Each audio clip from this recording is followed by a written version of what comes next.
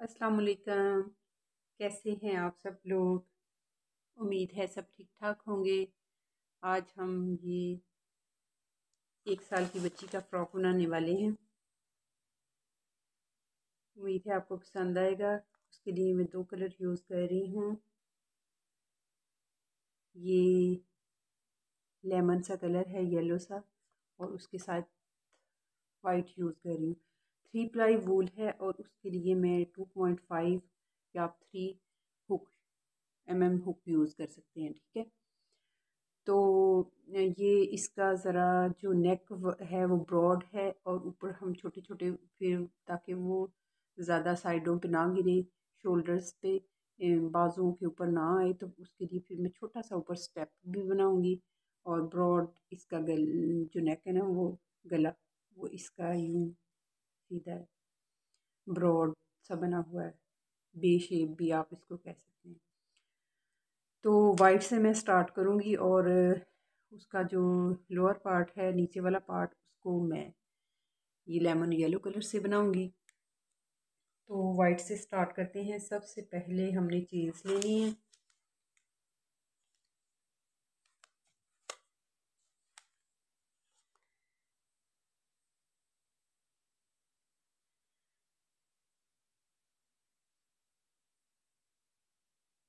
Slip note बनाऊँगी। ये देखिए।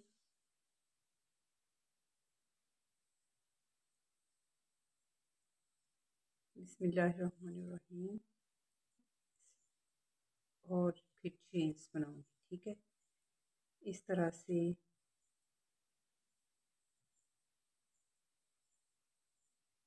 मैं सेवेंटी टू चेन्स बना लूँगी, ठीक है? आप सेवेंटी टू चेन्स बनाएँ और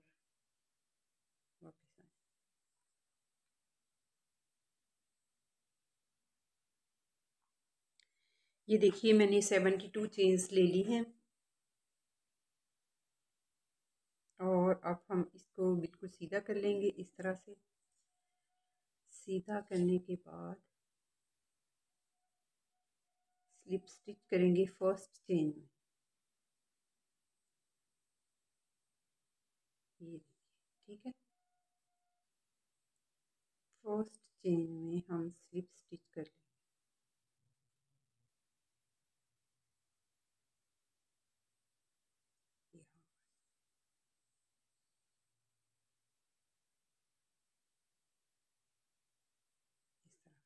ठीक उसके बाद मैं टू चेन्स लूँगी और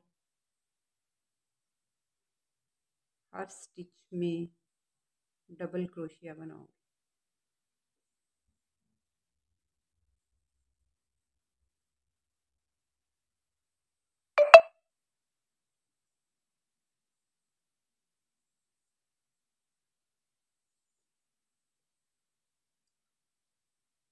देखिए साथ साथ में इसका ये जो हमारी यान का सिरा है, उसको भी मैं कवर करती जाऊँगी।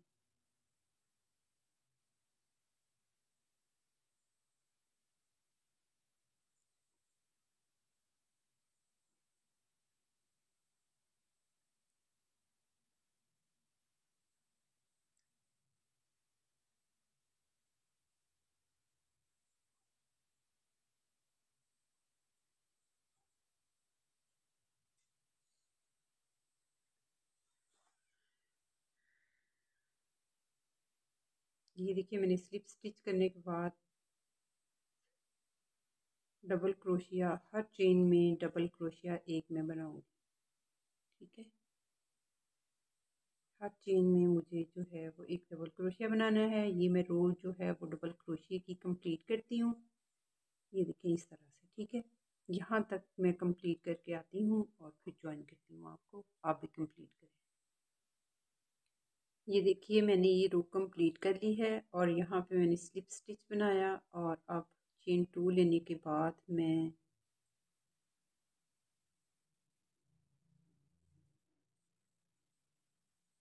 डबल क्रोशिए की एक और रो बनाऊँगी और हर तीन स्टिचेस के बाद मुझे एक इंक्रीज करना है। ठीक है? ये देखिए, अब मुझे यहाँ पे दो डबल क्रोशिए एक ही स्टिच में बनाने हैं। एक और दो, ठीक। फिर नेक्स्ट वाले में, स्टिच में एक, फिर एक और फिर एक। ये देखिए, एक, दो, तीन और अब इसमें मेरी दो डबल क्रोशी बने ये देखिए इस तरह से। फिर मैं एक डबल क्रोशिया बनाऊँगी तीन दफ़ा। तीन स्टिचेस में।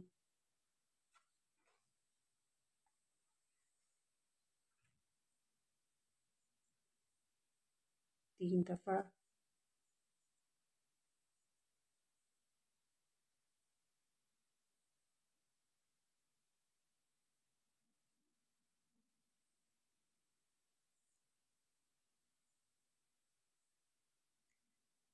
और फिर चौथे में मैं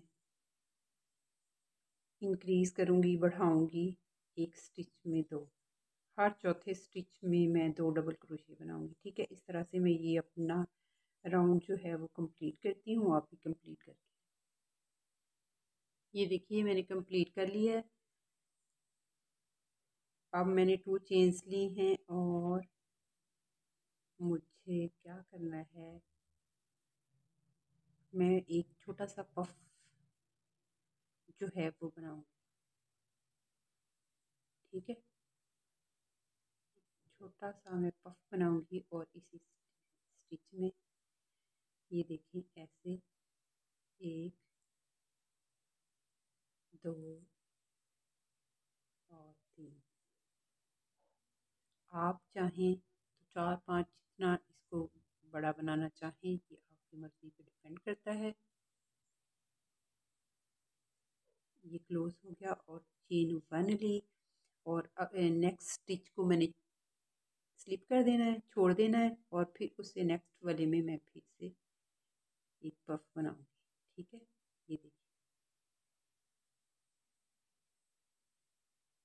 दो और थ्री टाइम मैंने इसको बनाया और इस तरह से बना लिया और ये मेरा क्लोज हो गया और ये मैं एक चेन लूँगी और नेक्स्ट वाला स्लिप करूँगी, छोड़ दूँगी और फिर उसे नेक्स्ट वाले में फिर से पफ स्टिच थ्री टाइम जान को मैंने यूँ करके तो फिर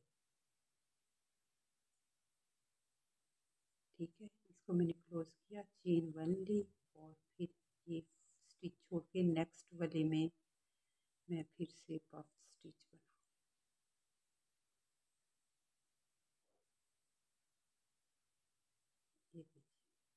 ठीक फिर चेन ली और इसको छोड़ा और इसमें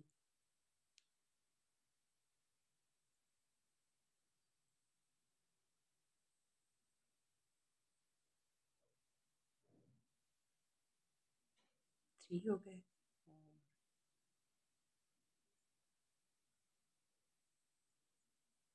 चेन वन लूँगी और ये देखिए हमारा कुछ इस तरह से ये बनता जाए। ठीक है, इस तरह से मैं पूरी ये रो राउंड अपना कंप्लीट करके यहाँ पे आ जाऊँगी और आप भी कंप्लीट करें। ये देखिए हमारा थोड़ा थोड़ा इंक्रीज़ होने लग गया है। ये देखिए ये ये मेरा जो नेक है, ये यूँ ब्रॉड मैंने बनाया है इसको और यहाँ पे मैं छोटे से इसको यूँ, छोटे से बिल्कुल स्टेप बनाऊँगी और ये हमारा कंधों के ऊपर, शोल्डर के ऊपर तक ये इस तरह से आए। ठीक है?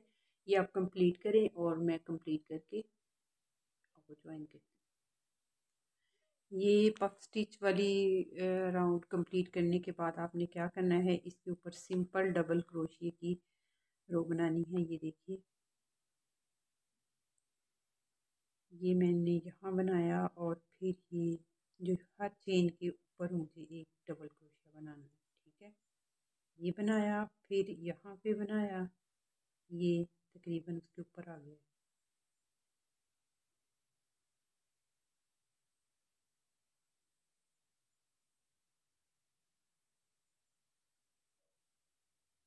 ठीक है, फिर ये बिल्कुल जो ऊपर आया है, इस पर वो बनाना है। Double crochet. ये देखिए।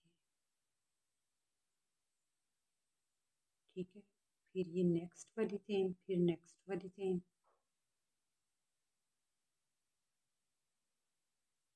ये वाली चेन जितनी चेन्स नज़र आ रही हैं, ये देखिए इस तरह से. फिर ये वाली चेन और फिर इसके ऊपर आ गई. ये दो चेन्स आती हैं बीच में और एक इसके ऊपर, दो चेन्स आती हैं बीच में और एक इसके ऊपर। ठीक है, सब पे मैं यूँ डबल क्रोशिए की का राउंड बना लूँगी और राउंड बनाने के बाद आपने क्या करना है?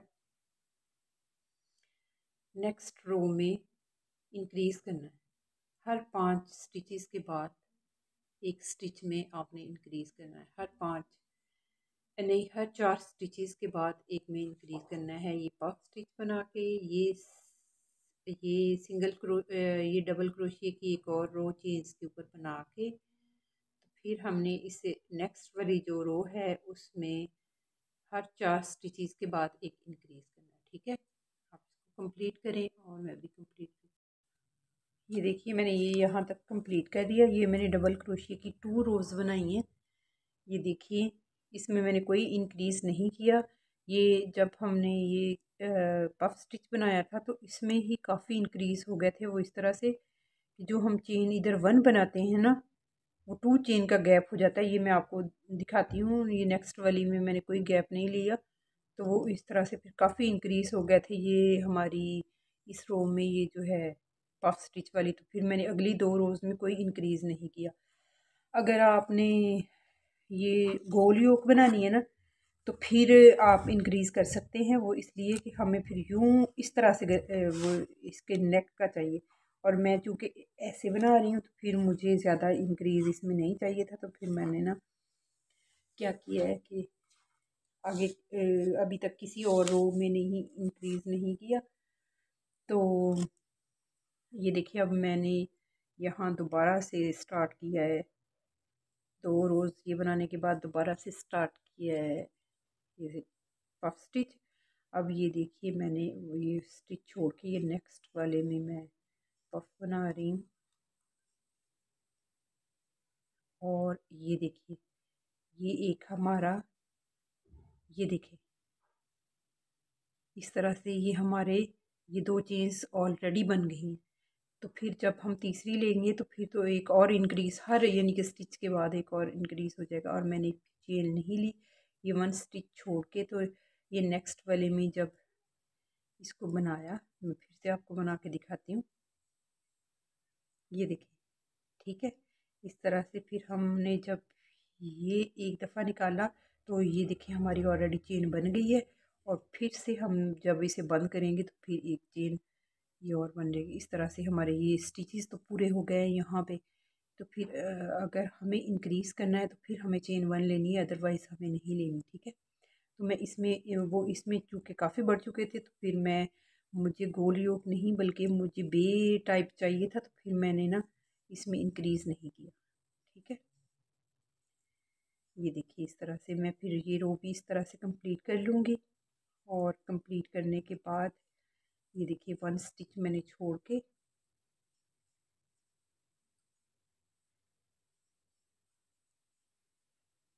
ये और ये जब मैंने इसको बंद किया ना तो फिर ऑलरेडी दो चेंज हो गई। एक का गैप हो गया और एक नेक्स्ट में हो गई। और फिर मैंने वन स्टिच छोड़ के नेक्स्ट वाले में फिर से ये पफ स्टिच बना लेना है, ठीक है? तो आप इस तरह से ये कंप्लीट करिए और अगर आप गोल योग बिल्कुल बनाना चाह रही हैं तो फिर आप बेशक इसमें इंक्रीज़ कर सकती हैं। फिर एक चेन वन भी ले सकती हैं, वो फिर यूँ राउंड में ना वो आपका बन जाएगा और नेक भी यूँ गोल हो जाएगी, ठीक है? मैंने चूँकि यूँ बे शेप में रखी है तो फिर इसलिए मैंने इंक्रीज़ जो है वो कम कम की है। ये मैं इसी तरह से अपना राउंड जो है वो कंप्लीट करती हूँ और कंप्लीट करने के बाद आपको ज्वाइन करूँगी।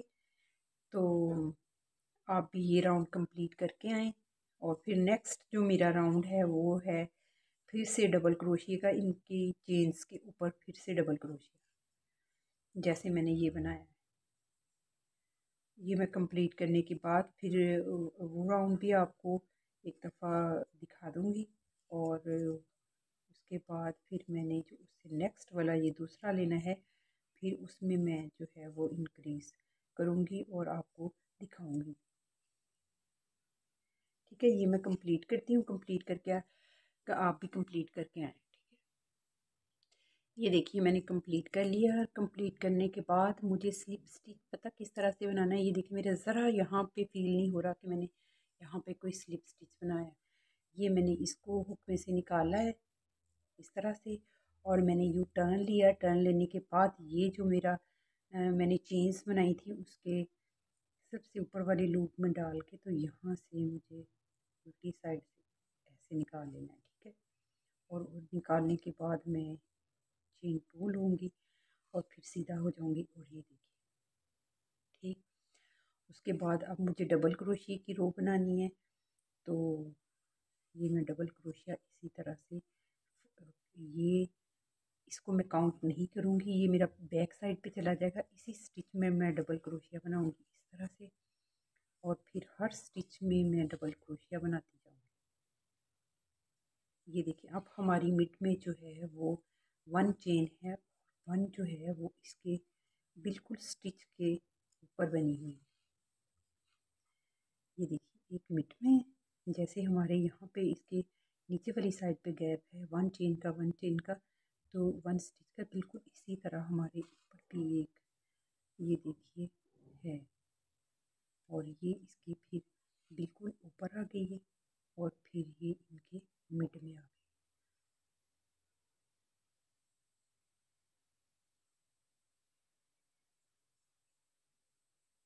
ठीक। अगर आप यहाँ पर भी ऐसे ही बनाते हैं कि चेन वन चेन फिर आगे नहीं करते तो फिर ये जो हमारी डबल क्रोशिया वाली रो है, इसमें मैं फिर फिर हमें इसमें इंक्रीज़ करना होगा। अब मैं आपको दिखाती हूँ, ये रख के। तो ये देखिए, हमारा कुछ इस तरह से हो गया अगर मैं मज़ीद इसको करती तो फिर इसने यूँ हो जाना था अगर आप इसको ये राउंड नेक की शेप देना चाह रहे हैं तो फिर ये इस तरह से होगा अदरवाइज़ ये मेरा कुछ इस तरह से बना है बे शेप तो मैं ये डबल की रो जो है, ये कंप्लीट करती हूँ और कंप्लीट करने के बाद मैं फिर आपको दिखाती हूँ, आप भी उतनी देर कंप्लीट करें इसको रो को कंप्लीट करके तो वापस आए। मैं भी ये कंप्लीट राउंड जो है वो पूरा कंप्लीट करके यहाँ पे आती हूँ। ये देखिए, मैंने ये रो कंप्लीट कर ली है, अब मैं फिर इसको ऐसे निकाल के तो ये जो मेरी देखिए मैं फ्रंट से आपको बताती हूँ, मैंने यहाँ पे नहीं ये देखिए।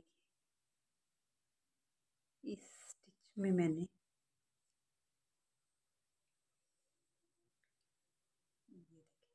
इस तरह से डाला और चेन टू लेके फिर मैंने सीधा टर्न ले लिया और ये देखिए। कितना वो बनाया कि हमें पता ही नहीं चल रहा। ठीक है, फिर इसी स्टिच में मैं नेक्स्ट वाला स्टिच अब इस रो में मुझे इंक्रीज करना है चार के बाद। ये देखिए, और ये मेरे चार हो गए हैं, और चार के बाद मैं, ये मैं एक इंक्रीज़ किया और ये दो इंक्रीज़ ये ये देखिए, एक ही स्टिच में मैंने दो बनाए ठीक है? फिर मैं चार बनाऊँगी फोर फोर स्टिचेस के बाद वन टू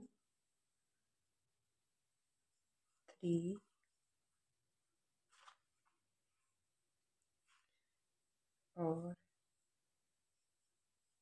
ये फोर और ये मेरी इसमें दो स्टिचेस बनेंगे, एक और ये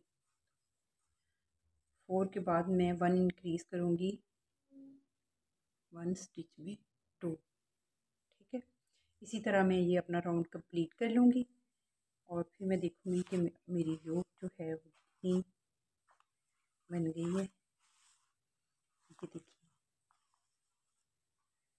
ठीक, ये देखिए, अब इसका शेप इस तरह आ रही है और अगर हम यहाँ पे भी इंक्रीज़ करते और एक रो के बाद इंक्रीज़ करते जाते तो फिर हमारा ये कुछ यूँ करके शेप बनी थी। ठीक है, मैं ये फोर के बाद वन मैंने इंक्रीज़ किया है। फिफ्थ वाले में मैंने एक चेन में दो डबल क्रोशे बनाए। एक स्टिच में दो डबल क्रोशे ठीक है? तो आप ये राउंड कंप्लीट करें कंप्लीट करें और मैं भी कंप्लीट कर ये देखिए डबल क्रोशिए की मैंने रोड कंप्लीट करने के बाद ये दोनों, अब मैंने ये पफ स्टिच की स्टार्ट की है तो इसमें कोई इंक्रीज़ नहीं करना। ये ऐसे ही मैंने पफ स्टिच की स्टार्ट की और बिल्कुल उसी तरह से ये वन छोड़ के तो यहाँ पे उसी तरीके से पफ बनाऊँगी। क्लोज करूँगी और एक छोड़ के अगले वाले स्टिच में फिर से पफ बनाऊँगी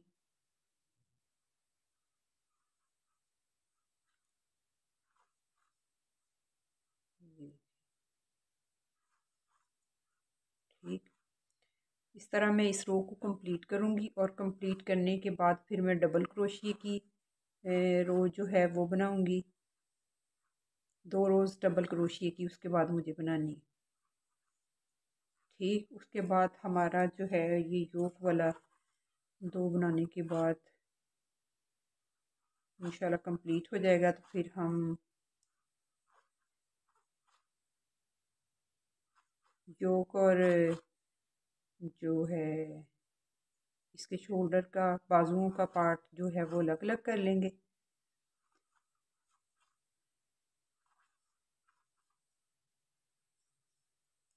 ये देखिए, ये मेरी कंप्लीट होने वाली है।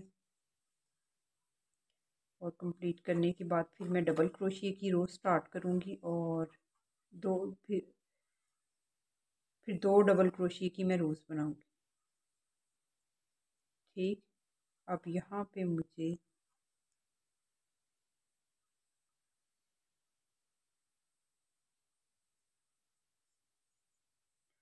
इस तरह से फिर मैं बैक में से,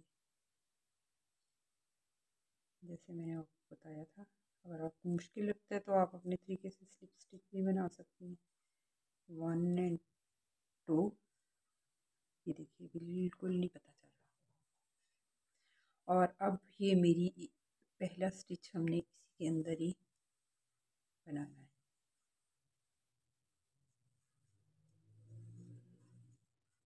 ठीक है, अब अब मुझे कोई इंक्रीज़ नहीं करना, कोई बढ़ाना नहीं है। ये दोनों जो रोज़ है मेरी, ये डबल क्रोशी की बिल्कुल इसी तरह से बने। ठीक है, एक ये मिड में जो चेन है, वहाँ पे डबल क्रोशिया और एक ये पफ स्टिच के ऊपर। इस तरह मैं डबल क्रोशिए की दो रोज़ जैसे ये कंप्लीट है, ऐसे मैं कंप्लीट कर लूँगी। इसलिए कि हमारा ये जो है ये कंप्लीट हो चुका है, ये पूरा इसका। तो बस हमें इसकी जो चौड़ाई है, यहाँ तक इसकी लेंथ जो है, वो कंप्लीट करनी है। उम्मीद है आपको वीडियो पसंद आई हो। कि अगर अच्छी लगे वीडियो तो लाइक, सब्सक्राइब और शेयर ज़रूर करें और बेल आइकन प्रेस करें ताकि मेरी हर नई आने वाली वीडियो का नोटिफिकेशन आपको मिलता रहे आर्ट एंड क्राफ्ट के लिए। नादियाज़ वर्ड ऑफ़ क्राफ्ट ज़रूर देखें और कहीं से समझ नहीं आ रही तो कमेंट में आप पूछ सकती हैं। अल्लाह हाफिज़।